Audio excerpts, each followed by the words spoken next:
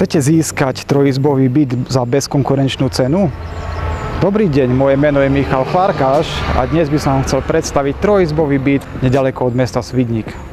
Byt sa nachádza v obci Krajina Poľana s vynikajúcou občianskou vybavenosťou. V obci sa nachádza materská škola a 9-ročná základná škola. Dva miestne obchody, pošta a reštaurácia.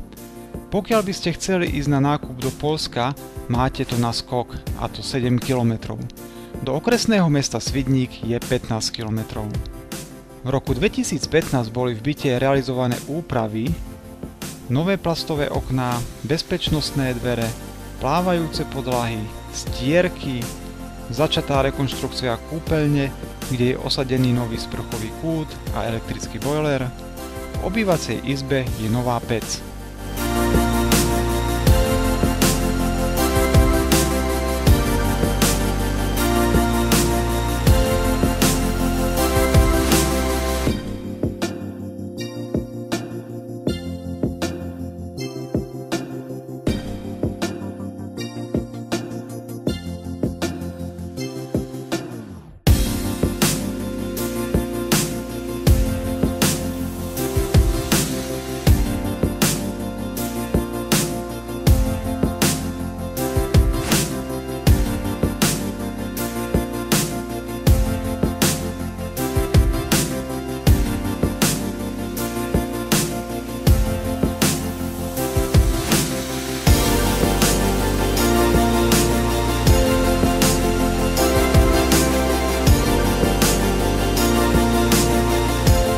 Je vhodný aj pre rodiny s deťmi, pretože v obci je 9-ročná základná škola.